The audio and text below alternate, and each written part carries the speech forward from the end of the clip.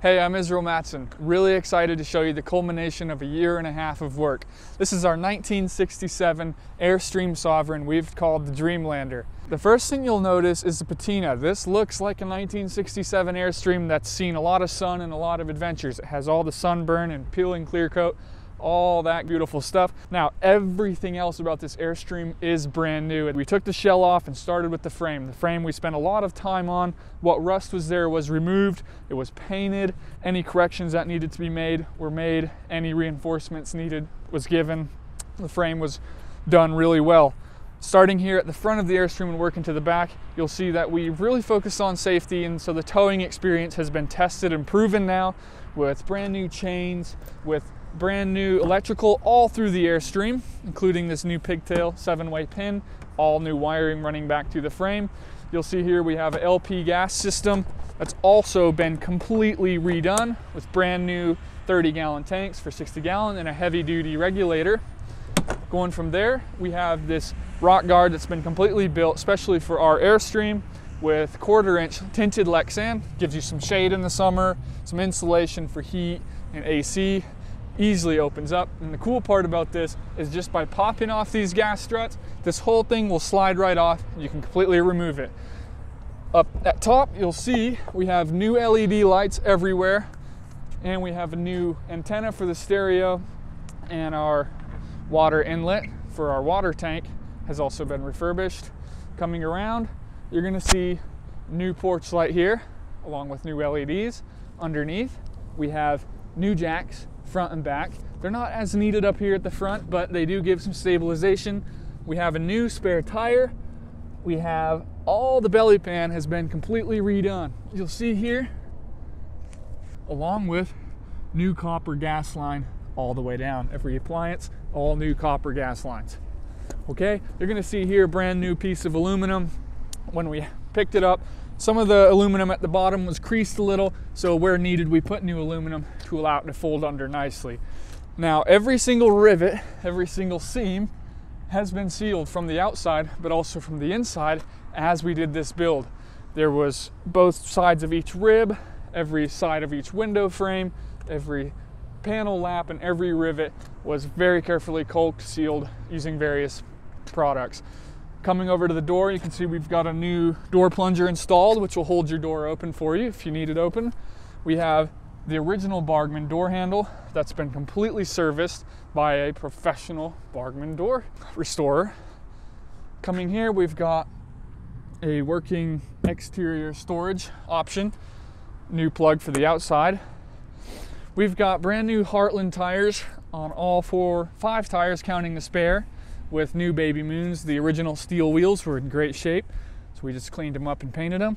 And then we have brand new Gabriel shocks, which are used by Airstream today, and brand new axles by Dexter. Dexter also manufactures the, Air, the axles Airstream uses now. So those each have a 3,500 pound towing capacity, and our Airstream, weighed at a cat scale, is 6,200 pounds dry. Okay, coming here we have our city water inlet, another external storage option, all working with new gaskets. We have solar panel plugs, an isolated electrical system plug, and then our 50 amp hookup. This Airstream is fully built to 50 amps. Coming here, we've got what we call storm latches. So we went with Lexan windows on all the side windows that are curved. These are frameless, as Airstream did originally for these models, making them pretty unique.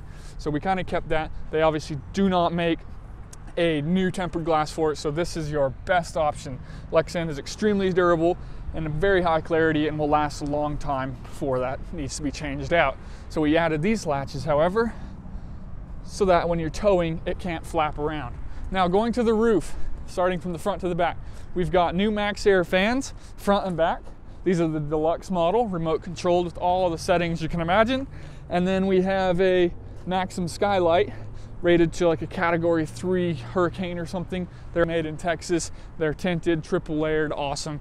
We have our Dometic Penguin 2 high capacity AC unit, the low profiles, obviously, and then two Renogy solar panels. The solar system is fully working.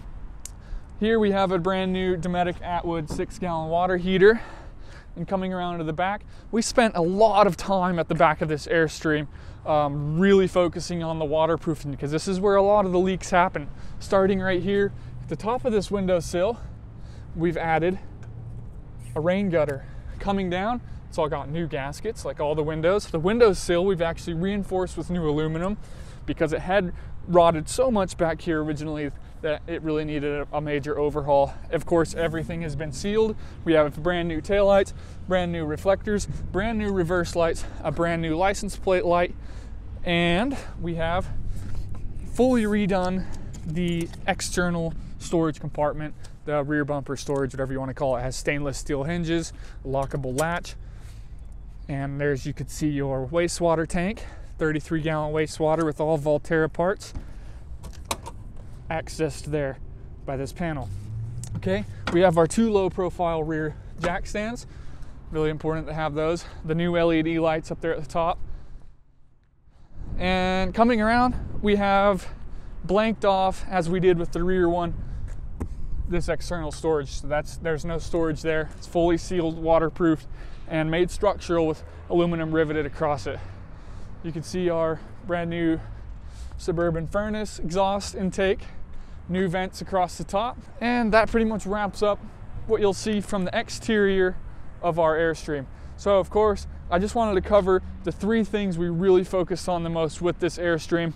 The first one was safety, both safety in towing, but also safety in staying in it and storing it.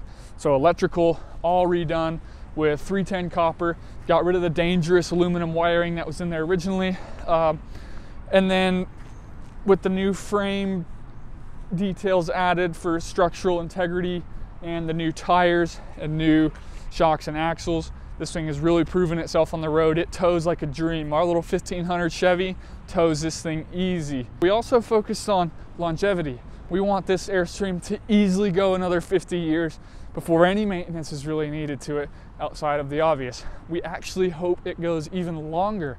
We hope this is the final restoration this baby will need.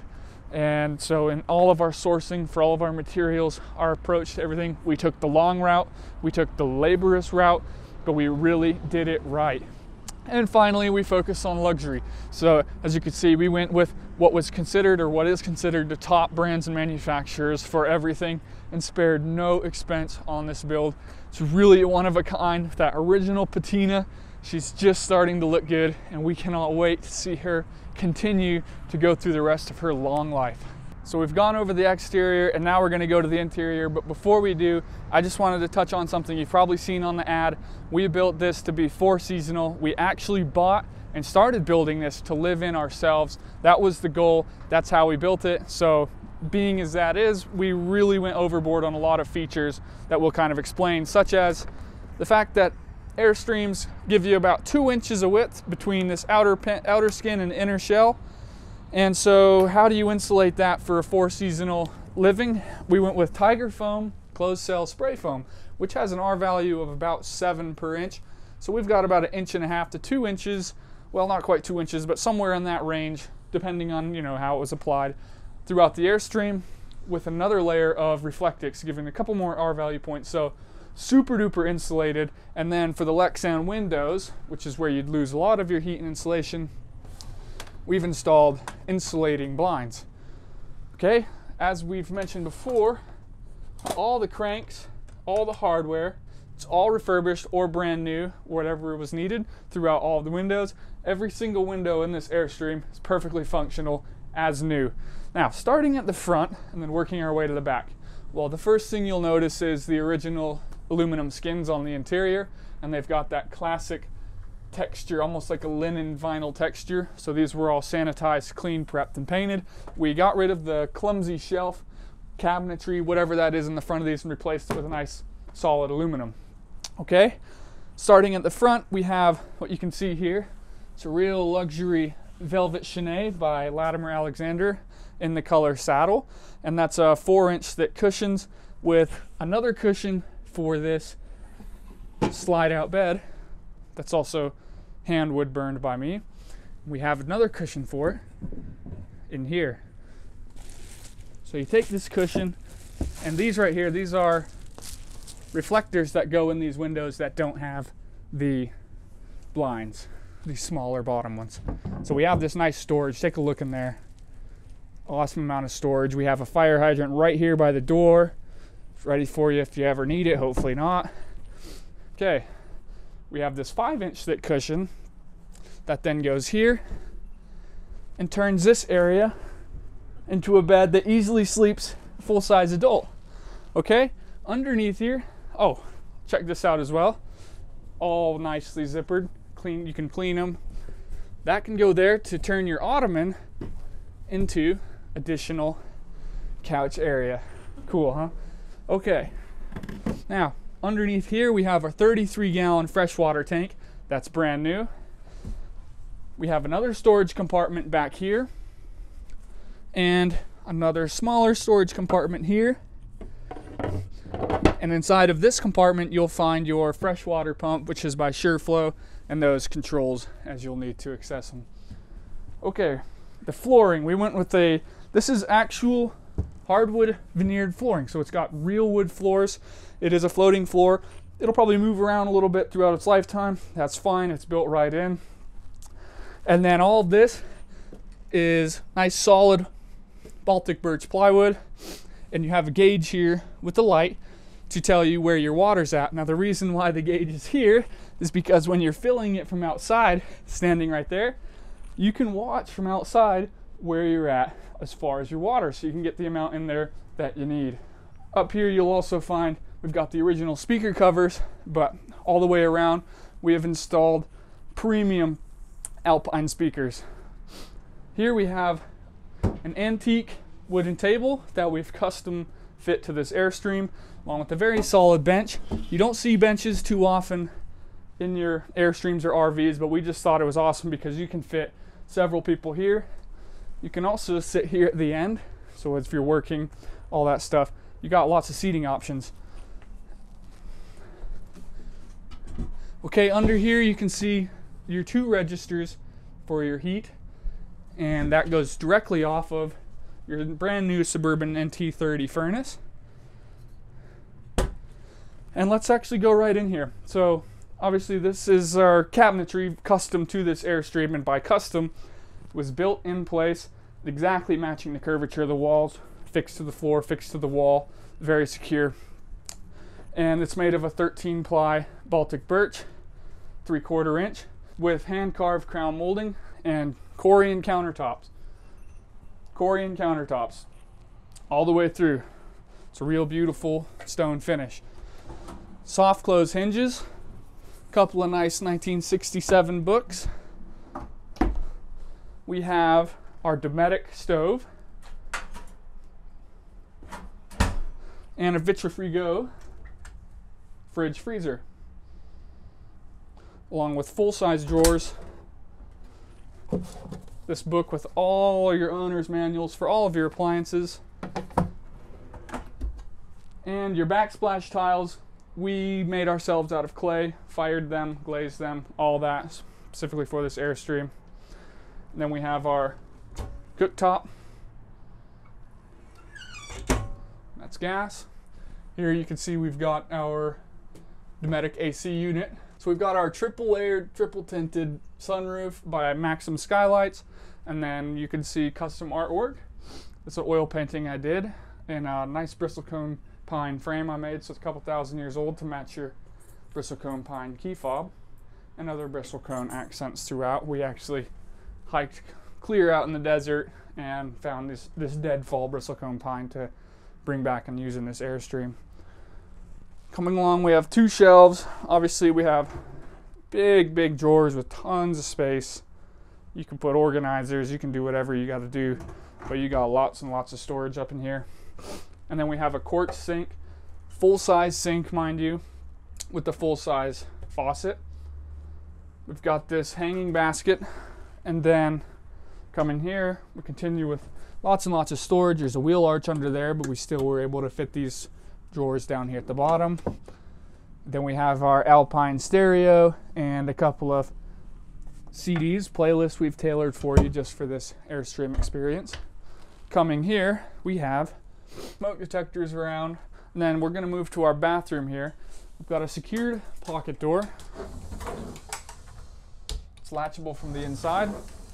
We have a full-size shower with the mosaic tiled shower bench. We went out in the desert and found those all those different colors of slate and used them along with your teak, custom teak finish. And then we've got obviously our full-size shower head, curtain rod coming down here. Nice matte black faucet with a made in Arizona ceramic sink top. There's your bristlecone pine eagle once again. Some storage in there beneath your sink. It's like a built-in adobe look with maple plywood.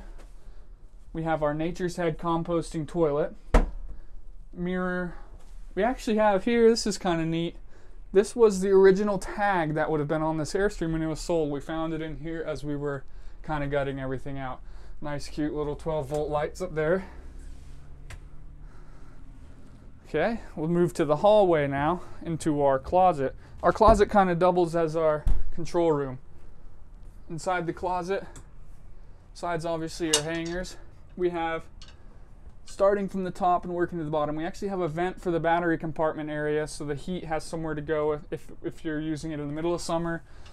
Then you have all of your controls for your appliances, including your solar charge controller, water heater, Renogy, um, inverter, battery monitor, etc. We have another fire extinguisher, so from bed you have one right close to you. This actually removes this panel here to give you access to your wiring coming into your breaker box fuse panel. Here are all your master switches, your master kills control switches, and we have our Dometic climate control, twin LED lights. Lots of storage in there, again with the magnetic catch so this door will stay shut while you're moving. Then we come into our master bedroom with linen sheets, and this is an RV queen. It's the size of the mattress with shelves around the sides. Now this is an 8-inch memory foam mattress by Brooklyn Mattress, made in Arizona. Another custom artwork by me. Got 12 volt outlets, and traditional outlets are there and around the base. Now this bed very easily pulls up. We also have of course, your MaxxAir Deluxe fans at the back and the front with remotes that you can control them, control your humidity in your bathroom, etc. This bed very easily pulls up, gentle tug. And what that gives you here is lots of storage. You have storage here in the hallway. You have a gigantic storage compartment there. You can see your outlets over here. And then you have your propane gas alarm right near the floor back here and this lid comes off to reveal your battery area. We have two lithium batteries by Renogy and room to easily place and connect two more. Right here, this is the middle of winter. We have a little heater keeping it at around 55 degrees. And of course, we've got our surge protector, we've got our transfer switch, we've got our converter charger, we got our pure sine wave inverter, and the associated wiring you can also see our Medic Atwood six gallon water heater there with the valves to control it right there. Okay, pop this lid back on. Also in the side of the hallway right there is what we call our isolated electrical system that allows you to plug in just your typical extension cord for the purpose of things like running an electric heater or something through the winter when you don't want anything hooked up to your 50 amp service just for a real safety precaution or, or whatever you, needs you may have. So a couple other final little things I had wanted to touch on because they were so painstaking for us to do. Obviously the full Monty includes the new subfloor and our subfloor was polyurethane, two coats polyurethane excluding a, a little empty area on the bottom of each one so the wood over time can release any humidity it does get. But on top of that polyurethane, there are five coats of porch deck paint. Okay, so your subfloor is extremely waterproof from the top. Our flooring is also waterproof as advertised by the manufacturer. Then to complement our insulation, you can put the best insulation in the world in an Airstream, but as most people know, you still lose so much of your cold AC or your heat through the ribs because it's a aluminum on aluminum on aluminum contact. So what we actually did was put insulating foam tape with a layer of aluminum on each and every rib going all the way back, also on each rib beneath the subfloor. So we actually broke a lot of that heat transfer that this aluminum is allowing to flow to and from. And that actually made quite a bit of a difference. So that was just a, a couple more details worth mentioning along with obviously all of our lighting is 12 volt and LED. These are nice warm lighting. These are all 12 volt LED throughout the Airstream. And then all of our obvious wiring for our 110 service is all 310 copper. So extremely safe, extremely efficient. This thing will really sip the power, really conserve your energy.